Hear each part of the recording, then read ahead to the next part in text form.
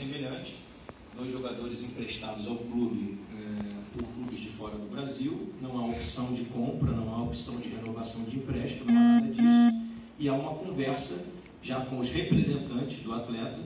É, eu lá em São Paulo, por exemplo, conversei com, com o representante do, do Alan também, é, de a gente tentar o reempréstimo desses jogadores é, para o ano que vem. Né?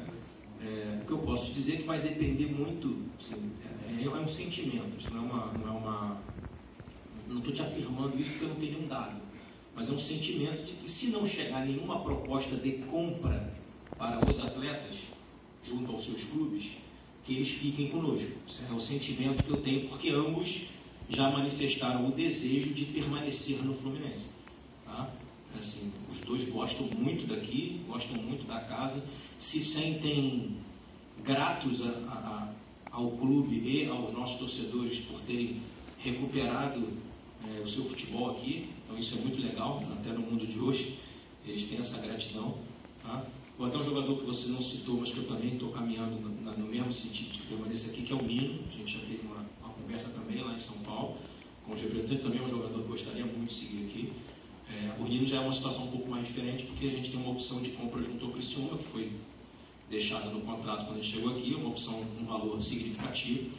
É, a gente vai iniciar uma negociação com o Criciúma para tentar exercer essa opção. Então, a tendência é que, se não houver uma compra, a gente permaneça com os jogadores aqui, do Caio e do, e do Alan. O Daniel foi feita uma proposta. É, inicialmente, ele achou a proposta interessante, ela segue em avaliação e a gente tem conversado com o representante, acho que aí, acho que nos 15 dias a gente vai ter uma posição definitiva se ele, se ele segue conosco ou não. O Ione, rapaz, eu, eu queria dizer uma coisa a vocês. Esse jogador é um jogador é, que, que, carrega um profissionalismo assim muito legal.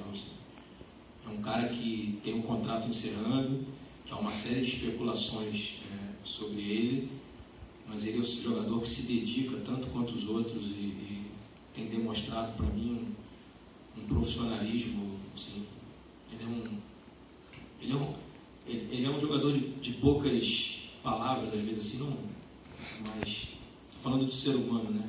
mais, mais fechado, assim, mas, mas muito sério, assim, joga pelo amor da profissão e, e se dedica, como todos os outros nós estamos se dedicando aqui. E ele é sempre muito transparente conosco. Né? Vocês devem ter visto que houve uma manifestação com relação à questão do Benfica. O Benfica mandou uma carta para nós, também de maneira muito correta, em que pese não precisar. É, eu sempre gosto de enaltecer essas coisas. O Benfica não tinha a menor obrigação de mandar uma carta para nós, porque ele já está em possibilidade de assinar um pré-contrato.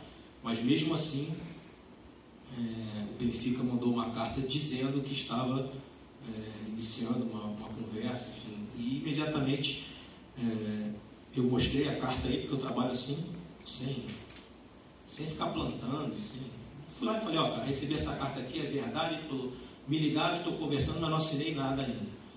Então, assim, eu disse a ele que se de alguma maneira houver possibilidade da gente seguir com ele aqui, óbvio que financeiramente eu não vou conseguir concorrer. Né? É, ele não me falou a proposta, e é um direito dele, óbvio. Né? Constitucional, de não me dizer, é, mas ele, ele falou, presidente, eu estou aberto e gosto do Fluminense, enfim, então não, não diria você que tem 100% é, de definição dele estar tá fora daqui no ano que vem.